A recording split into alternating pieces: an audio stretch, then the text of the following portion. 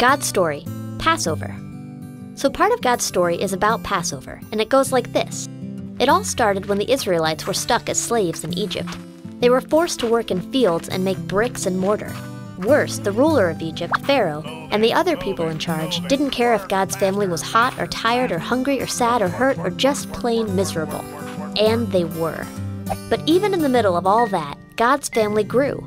In fact, they got so big that Pharaoh was scared they might attack and overpower him. He made them work even harder to show them he was boss. Soon the Israelites were even more miserable. They begged God for help. Well, guess what? God saw what Pharaoh was doing to his family and he didn't like it one bit. So he planned a rescue. He sent a man named Moses to lead God's family out of Egypt and into a brand new, beautiful home called the Promised Land. But when Moses told Pharaoh to let God's family leave, Pharaoh said no. Remember, Pharaoh thought he was the boss. The thing is, God is really in control, and even rulers of countries should obey him. So, nine different times, God sent plagues to show Pharaoh his power.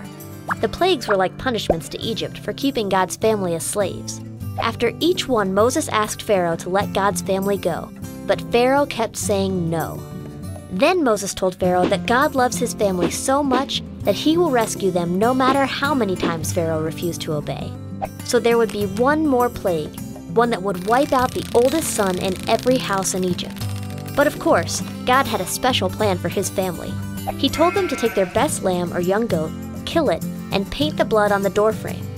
Then they should eat the meat with bitter herbs and some flat bread made without yeast called unleavened bread, which is cheap and can be made quickly. In fact, God asked his family to eat the whole meal as if they were ready to run right out the door, with their shoes on and their walking sticks in hand. They obeyed. Good thing, too, because that very night the angel of death came. But just like God promised, he passed over the houses with blood on the door. Finally, Pharaoh realized God was in charge, and that God loved his family, and that Pharaoh couldn't stop God's rescue plan. He said God's family should get far away from Egypt. They left in a hurry.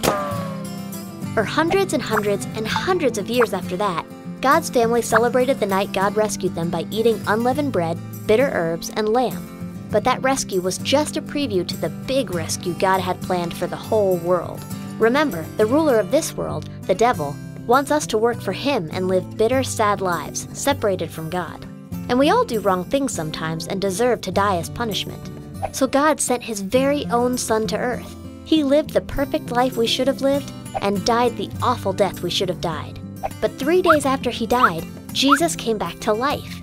That means he got rid of death and it can't separate us from God anymore. And you know what? Right before Jesus died, he celebrated Passover one last time, but without the lamb. See, Jesus showed us that he is our lamb. And just like the lambs died so that the sons could stay with their families, Jesus died so that we can be part of God's family. One day he'll recreate a perfect home for us, and it'll be even better than the promised land. And that's the story of Passover. So, in case you missed it, here's the quick version God's family was miserable. They begged God for help. God planned a rescue. Pharaoh said no. God showed his power. The oldest sons had to die. Lambs took their place. God rescued his family. They celebrated Passover. Death was our punishment, too. God sent his son. He took our place. God rescued us. And that's a part of God's story.